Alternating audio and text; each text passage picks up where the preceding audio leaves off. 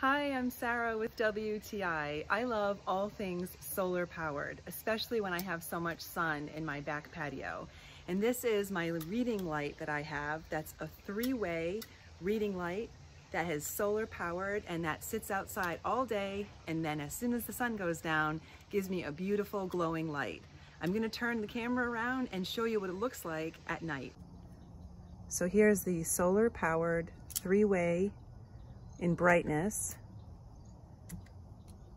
reading lamp that you could use on your patio or you could use when camping. And that's my point of view.